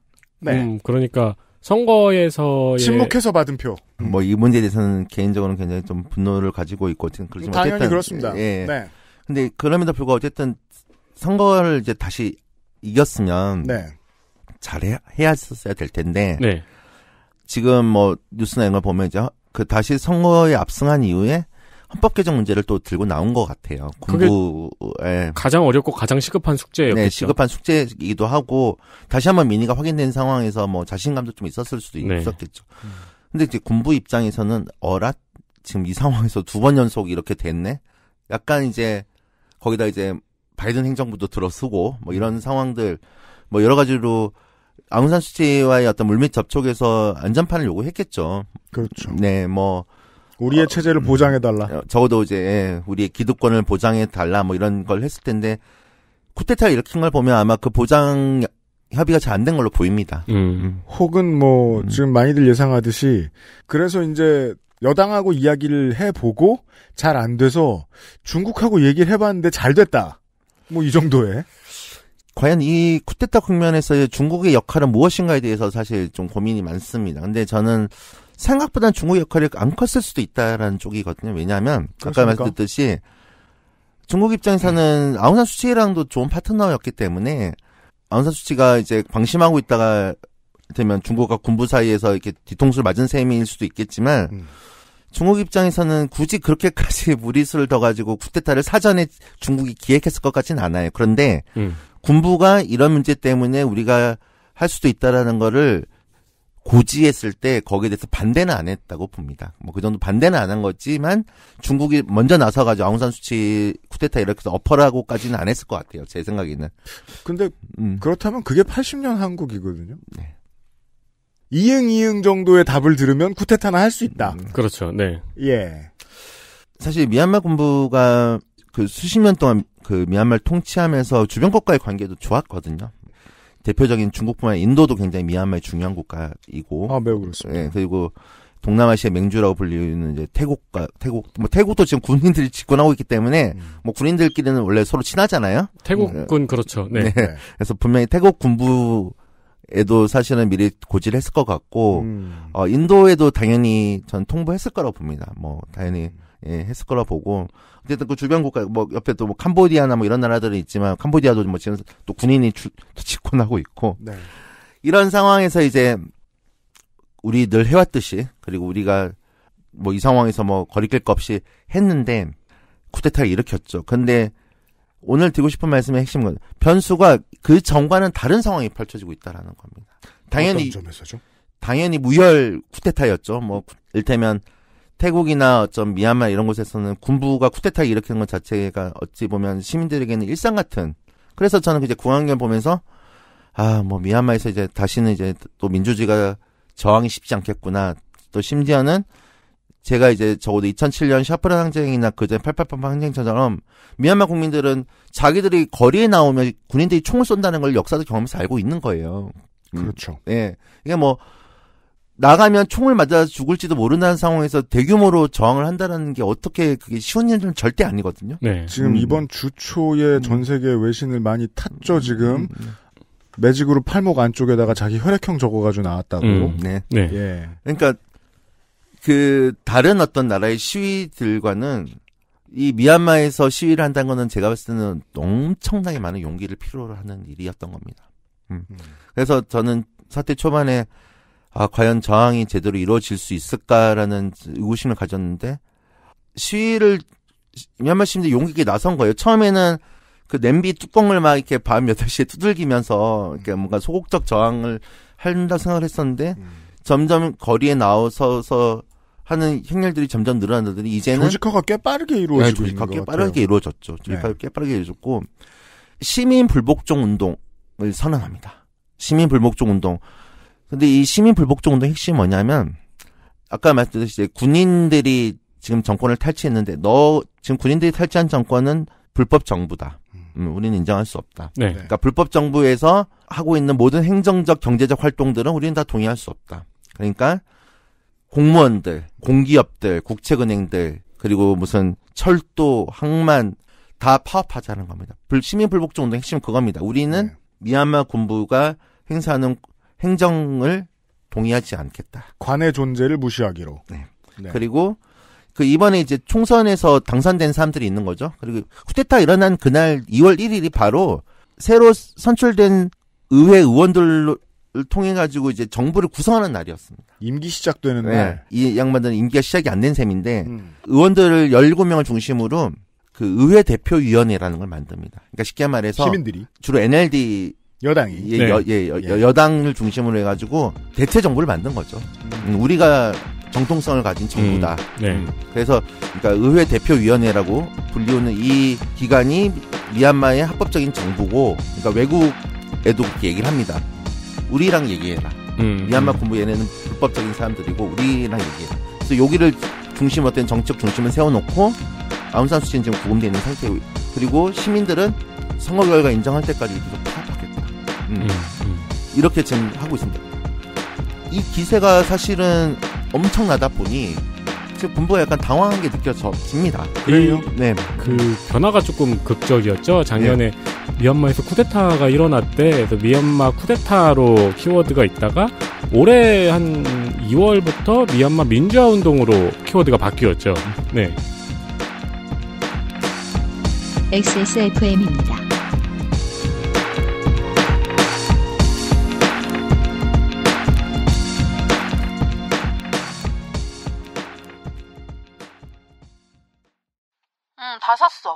두유? 한 두 박스 사가? 아니, 신선한 거 먹어야지. 신선한 게 어딨냐? 집이나 공장이나 다 쌓아놓는 거지. 뭘 그렇게... 온두유는 쌓아놓지 않습니다. 당일 제조, 당일 판매.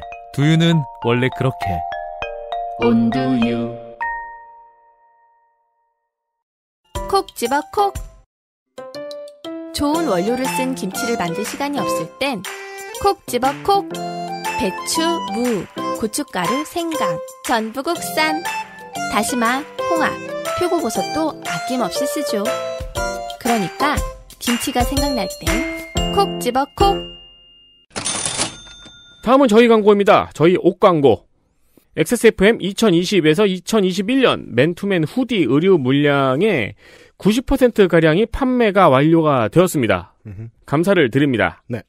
그리고 아직 최종 물량이 약간 남아 있습니다. 많은 분들이 만족을 해주셨고 서비스 소요에 대한 대처도 최선을 다해 빠르게 진행을 했습니다. 그렇습니다. 유면상 PD가 고생을 많이 했죠. 네, 이번 물량이 이제 한 10% 정도 남았죠? 네. 모든 사이즈가 남아있는 것도 아니고 없는 사이즈는 없습니다. 그렇습니다. 그리고 이 물량이 마감이 되면은 다음에는 완전히 같은 제품이 나올 가능성은 없습니다. 없습니다. 액세스몰에서 지금 남아있는 물량을 서둘러 확인해 보세요. 확인해 주시고요. 왜냐면 이 광고를 혼자 들으시는 게 아니거든요. 그럼요.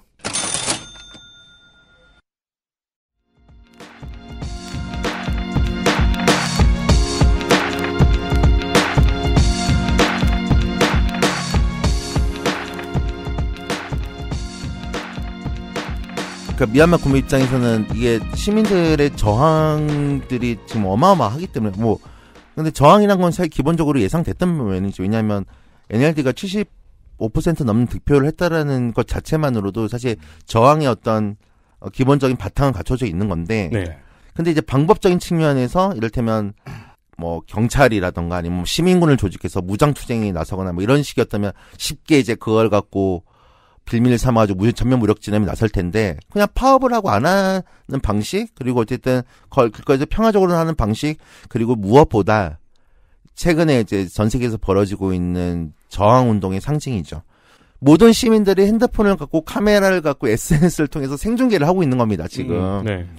이 상황에서 미얀마 군부 입장에서 굉장히 부담스러운 거죠. 그래서 심지어는 가끔씩 인터넷도 끊어가지고 그러게 못하게 하는데 시간을 점점 늘리고 있더라고요. 예. 인터넷 끊어지는 예. 시간을.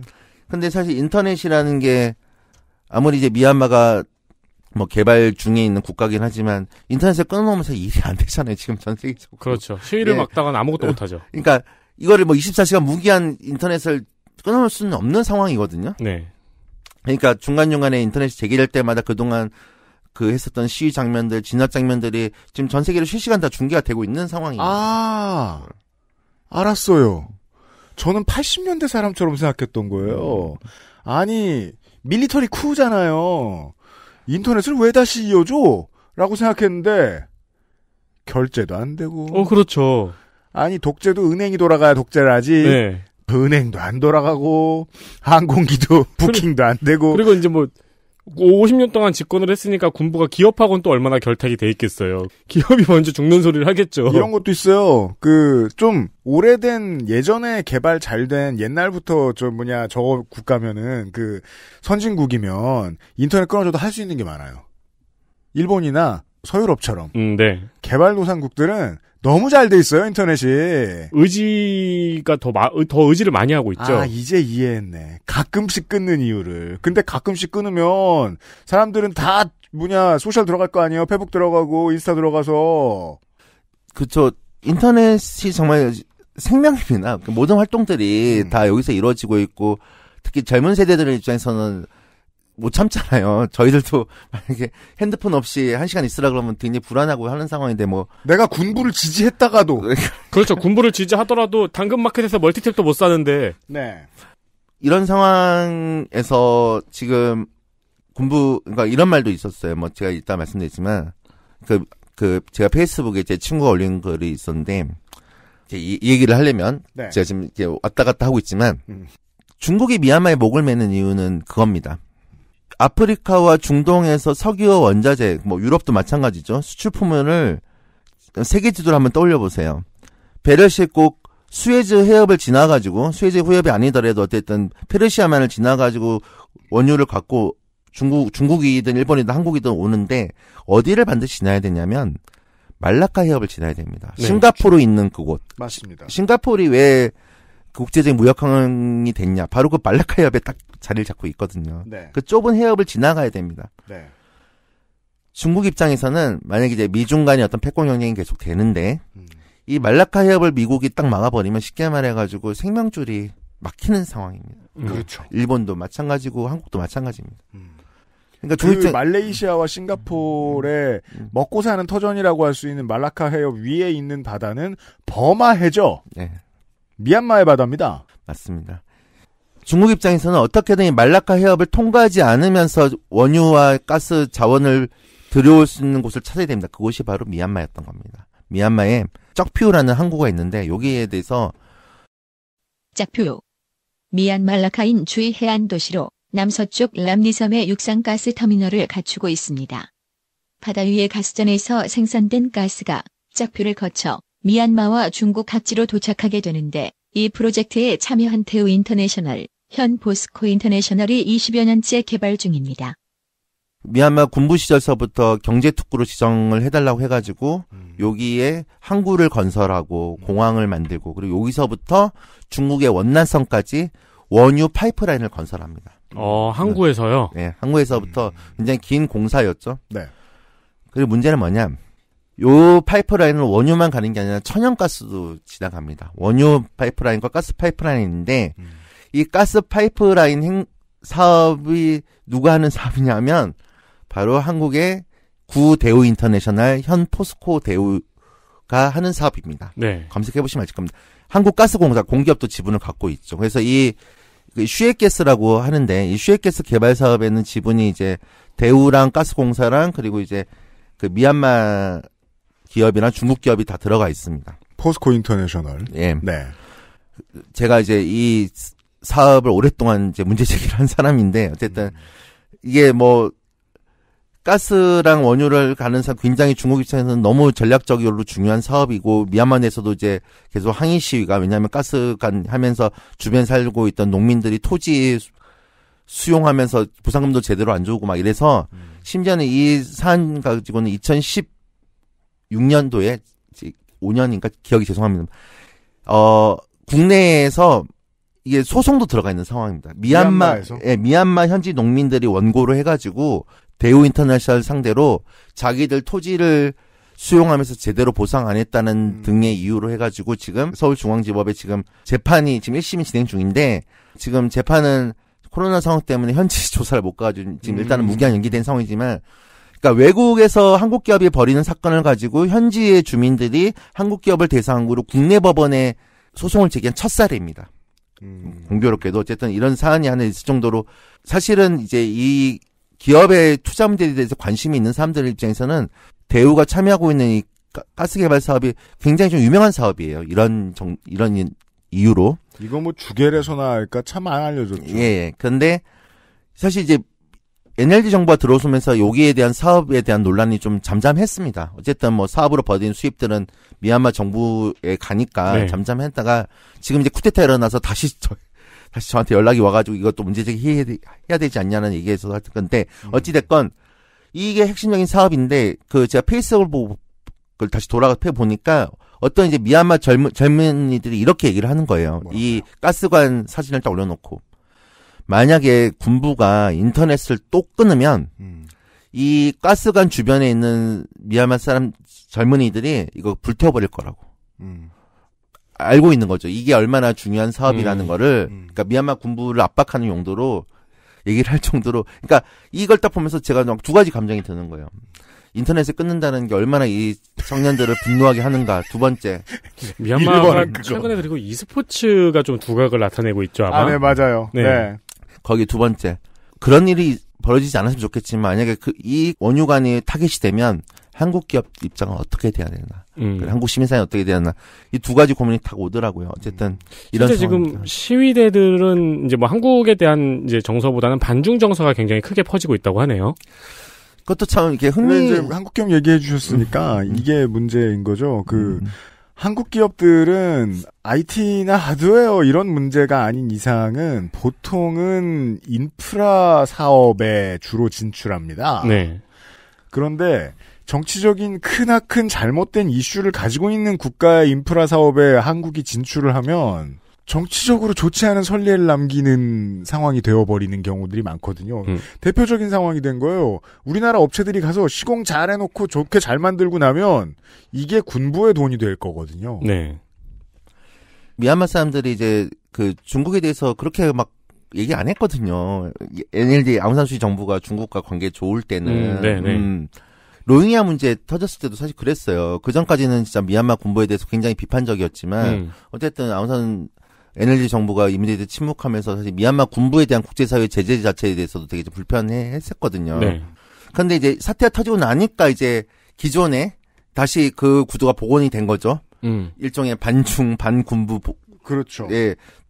그 구도가 복원이 됐고 이러면서 이제 그 과거에 어쨌든 전선 가- 같은 대우에 있었던 전선들 이를테면 뭐 기존에 좀 약간 소원해진 시민 사회들에 대해서 다시 도움을 요청을 해야 되는 상황이 또 된 거예요. 참 네.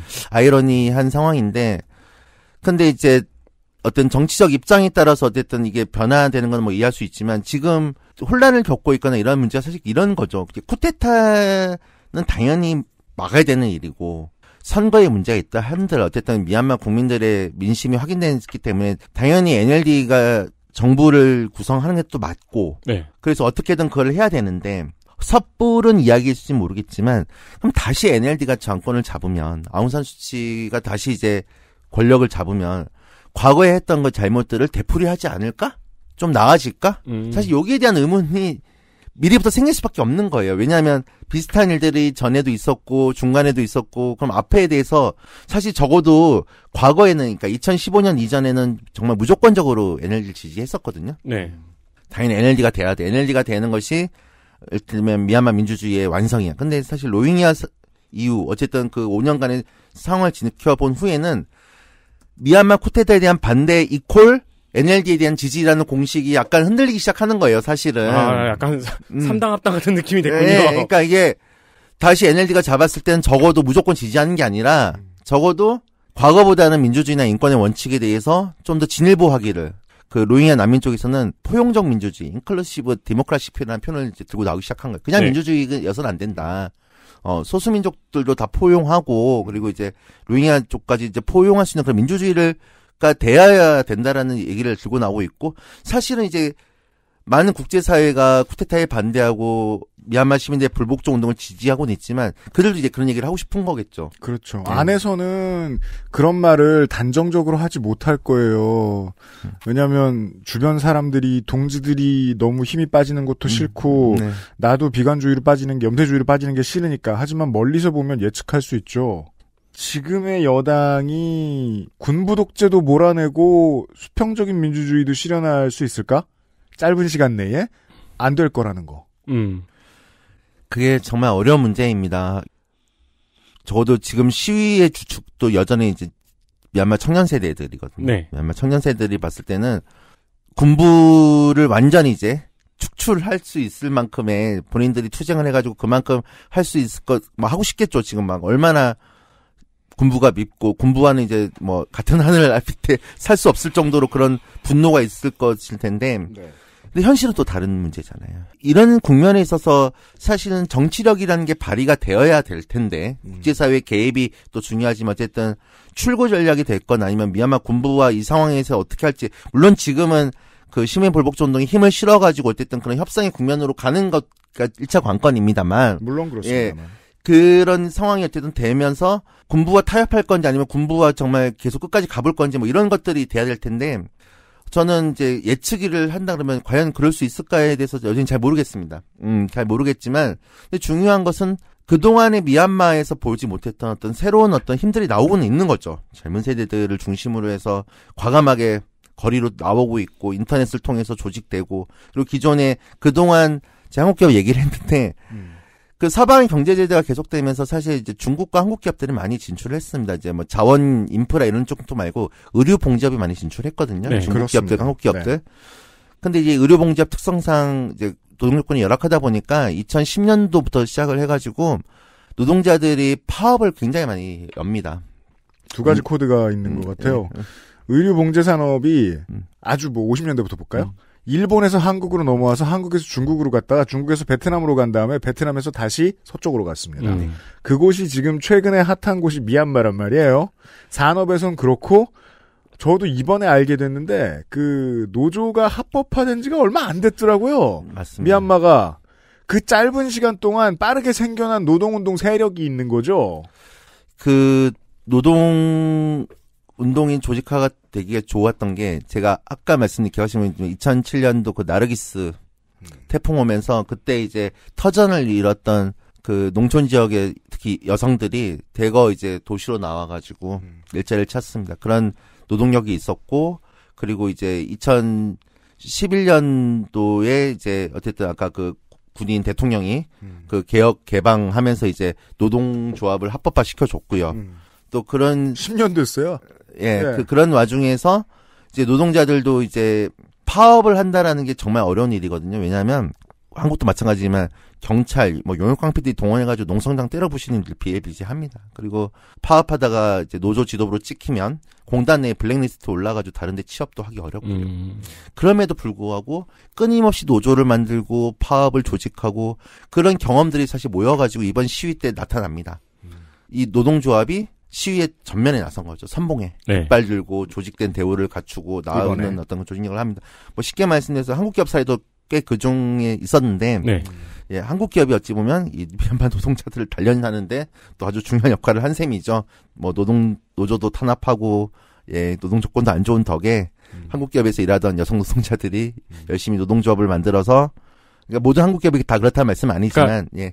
두 가지가 다 발전했죠. 네. 노조 탄압과 노조 탄압 분쇄다. 음. 예, 한국에서는 두 가지가 다 발전했죠. 맞아요. 전 세계, 그니까, 전 아시아 어딜 가나, 둘 다 한국에 수출된 경우가 많습니다. 예, 그렇습니다. 그 노조들 철도 노조라던가 뭐 광산 노조라 이런 네. 거 노동자들이 정말 적극적으로 지금 투쟁에 나서고 음, 있습니다. 음. 이 시민 불복종 운동에 전면에 서 나서고. 있어 선봉에 말씀- 나서고 있습니다. 말씀하신 것처럼 시위에 나서는 게 자기가 죽을 수도 있는 공포 가 있는 상황에서는 먼저 나서는 조직이 있다는 게 가장 중요한 키워드겠네요. 그 노조가 앞장서 최근에 그 동남아시아 홍콩 태국을 비롯해서 휩쓰고 있는 이 젊은 세대들 네. 인터넷에 익숙하고 그리고 예, 이런 세대들이 또 적극적으로 나옵니다. 그러면서 저의 또 다른 주업 중에 하나는 케이팝 얘기를 하자면 네, 오늘의 마지막 얘기는 이걸로 좀 정리를 네. 해야 될 것 같습니다. 네. 미얀마 청년들이 나 케이팝 듣고 싶다. 인터넷 끊지 마라. 음, 음. 그리고 우리 민주주의 원한다.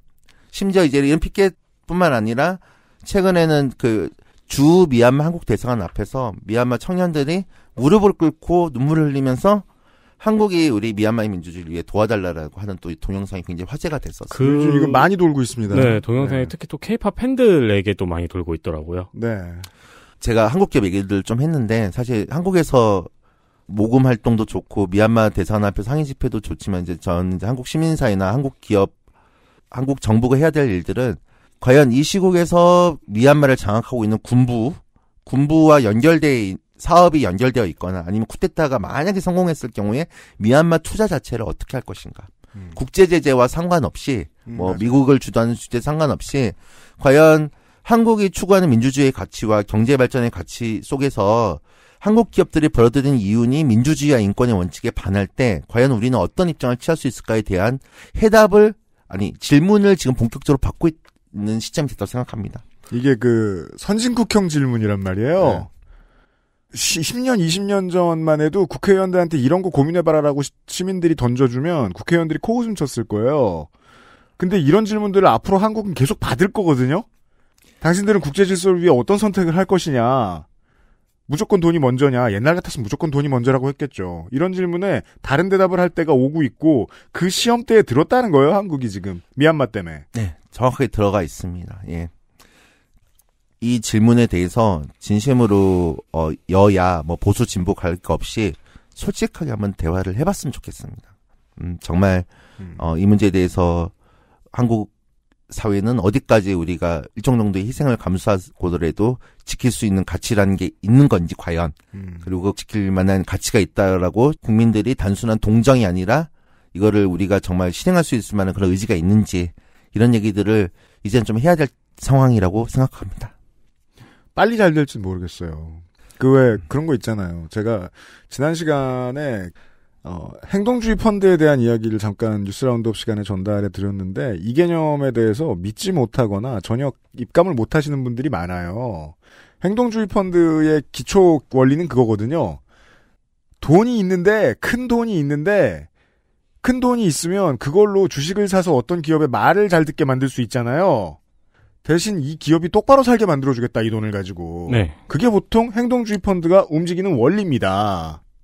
다른 부패한 돈하고 동일한 레벨의 돈을 끌어모아서 움직이겠다 기업을 이런 의미거든요. 네. 근데 우리 개인 투자자들이 우리 주갤러들이 주식을 투자할 때 그런 생각을 얼마나 하는지를 되돌아봤으면 좋겠어요. 기업 말 잘 듣게 하려고 주식 샀나? 계속 올라가는 주식이 있어요. 음. 근데 막 플라스틱 엄청 만드는 회사야. 덜 만들라고 팔까 나는? 이런 고민들의 모임이 필요한 시점인 것 같아요. 네. 요런 주제의식을 얘기해 주셨는데, 어, 끝으로 이런 얘기를 하는 거는 남표 국장님은 어울리지 않습니다. 청취자 여러분들 그, 뭐, 어, 소셜에 어디에서도 보통 인스타에 많이 보이는데, 그, 세이브 미얀마 정도의 해시태그를 검색하시면 가장 많이 쓰이는 레파토리가 이런 거죠. 그 피켓 문구들. 내 인생을 망치는 건 엑소면 충분하다. 쿠데타 말고, 뭐 이런 거 있잖아요. 몇 개 더 있어요. 미나응 흐- 흘라잉 같은 나쁜 놈 말고 한서준 같은 나쁜 놈이 좋아요. 제가 본 최고는 이거예요. BTS 아미를 요청했더니 다른 아미가 왔다. 웃을 일이 아닌데. 그러니까 뭐 지난 태국 시 때도 그렇고 이번 미얀마 시 때도 그렇고 전 세계 청년 세대들에게 케이팝이 얼마나 중요한 문화인지를 다시 재확인하면서 네. 한국 시민사회 활동가로서 정말 마음이 무겁습니다. 과연 우리가 어떤 입장을 내야 될지.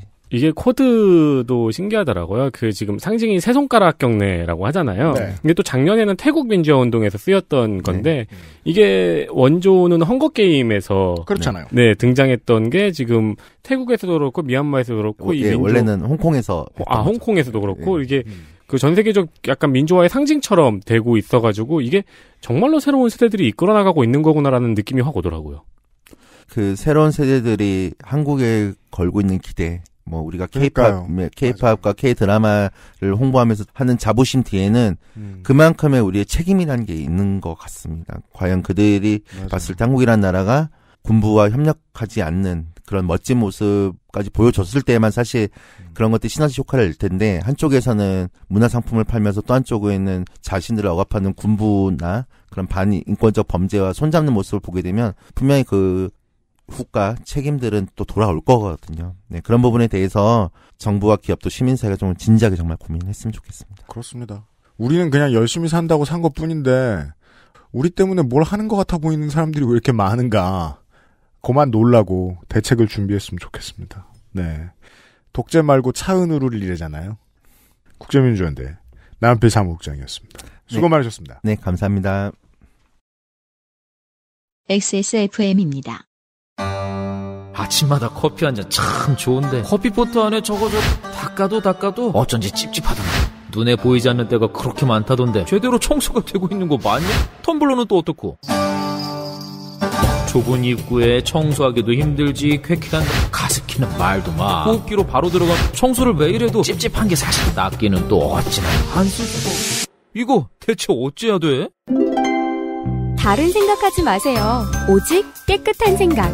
숨은 때엔 반려세제 클리빈. 건강기능식품 광고입니다. 이번만큼은 제대로 마음먹은 당신. 과식과 야식을 피할 수 있다면 건강한 비움 친구 디메이트가 도움을 드릴 수 있습니다. 식사 조절, 운동, 수분 섭취, 그리고 비움 친구 디메이트. 평산네이처. 저의 후회와 오해.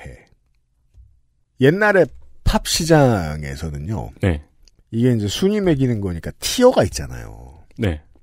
어떤 가수를 보면서 어떤 뮤지션을 보면서 이 사람이 세계 평화에 이바지 해야 돼. 아 마이클 잭슨처럼 아니 이 사람이 어떤 말을 하는지가 인류사에도 중요하고 정치사에도 중요해. 네. 라는 평가를 받는 아티스트가 되는 것. 보통 한 시대의 한팀 정도 이상에게는 허용되지 않던 자리였어요. 그렇죠. U2는 논외예요. U2는 원래부터 정치적인 목소리를 많이 냈으니까 그건 레이저 겐스 더 머신처럼 분류할 수 있겠죠. 말고 그러니까 이제 선우가 뒤바뀌는 거잖아요, 보통. 그러니까 정치적으로 평화적인 메시지를 내서 정상의 자리에 올라가는 게 아니고 음, 그거 말고 네. 무슨 노래든 불렀는데 정치적인 중요성까지 생길 만큼 너무 유명해진 경우 그렇죠. 엘비스 실제로 세계 평화에 이바지합니다. 자꾸 군대에 팬들이 뭘 보내가지고 어, 그랬군요. 군대가 엄청 고생. 왜냐면 그때는 저 저 뭐냐 저 저 의무복무였으니까 미국이 네. 독일 가서 복무하고 막 이랬는데 어, 자대가 너무 힘들어 합니다. 엘비스 때문에. 음. 네. 비틀즈, 엘튼 존, 마이클 잭슨, 레이디 가가 음. 뭐 이 정도 거의 허용되지 않는 레벨의 tier예요. 그렇죠. 근데 이게 social의 시대가 오면서 바뀌었어요. social의 시대가 오면서 시민들이 난 덕질도 하고 표도 있어요. 나는 정치적인 사람이자 덕후인 거예요. 네. 이게 자연스러워진 거예요. 옛날엔 덕후면 덕후고 정덕이면 정덕이었거든요. 네. 그게 같은 존재가 돼버리니까 제가 오해했었어요. 저는 그냥 BTS가 마이클 잭슨 정도의 위치에 올라갔기 때문에 BTS가 어디에서 무엇 하든 정치적인 논란이 생긴다. 이렇게만 해석했었거든요. 제가 꼰대였던 것 같아요. 그냥 시민들의 수준이 올라갔을 뿐이에요. 그래서 차은우를 얘기해도 엑소를 얘기해도 제가 아까 얘기한 얘기 못한 것 중에 제가 아까 말씀드린 문장이 이거였습니다. 어, 내 인, 아까 말씀드렸죠. 네. 내 인생을 망치는 건 엑소면 충분하다. 그렇죠. 근데 말씀하시니까 옛날 사례들이 떠오르네요. 뭐요? 그러니까 옛날에 탑티어에 올라갔던 연예인들이 음. 모두 정치적인 영향력이 있었던 건 아니거든요. 그걸 애써 피했죠. 어, 그럼요. 네.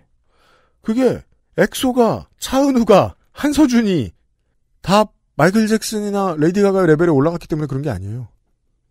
그 덕후들의 수준이 너무 올라갔기 때문에 그런 거지. 음. 시대의 변화는 그렇게 읽힙니다. 그리고 이 사람들의 목소리는 예전보다 훨씬 더 가까이 들리죠. 네.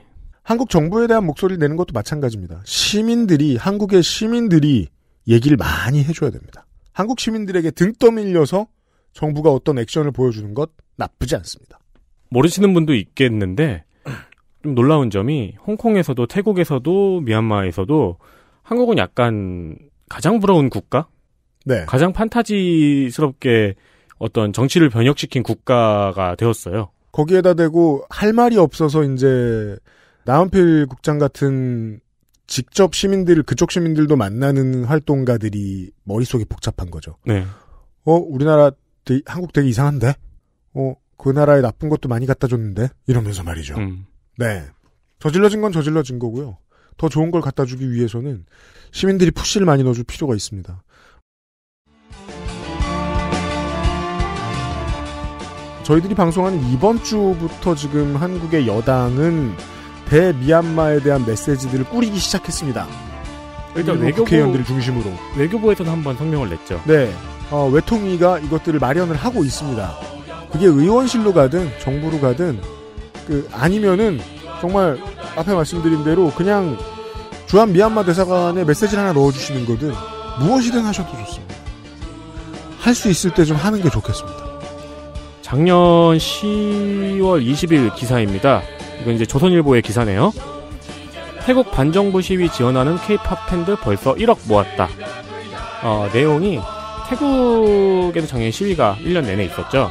거기 반정부 시위에 필요한 장비 구입 등을 위해서 전 세계의 케이팝 팬들이 모금을 하고 있는 내용입니다.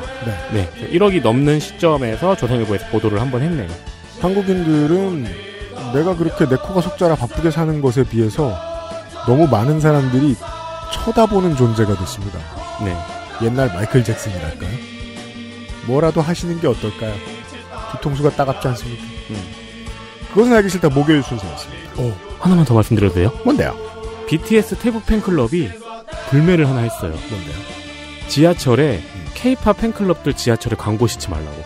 왜냐면은 지하철이 시위대 이동을 막기 위해서 그냥 무정차 통과를 했잖아요. 음. 그거에 대한 항의의 의미로 팬클럽들이 지하철 광고 불매를 했대요. 음, 돈은 그렇게 쓰는 거죠. 어, 그러니까요. 머리를 씁시다. 양아치들이 머리를 부지런히 쓰고 있기 때문에 더 많이 머리를 굴려야 됩니다. 네. 내일과 내일 이 시간에는 머리를 덜 굴려도 되는 헬마우스 코너로 인사드리도록 하겠습니다. 유승균 PD와 윤세민 에디터였습니다. 들어주셔서 감사합니다. 감사합니다. XSFM입니다. I D W K